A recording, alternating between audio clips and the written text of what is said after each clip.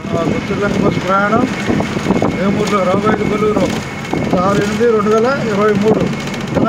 ధన్యవాదాలతో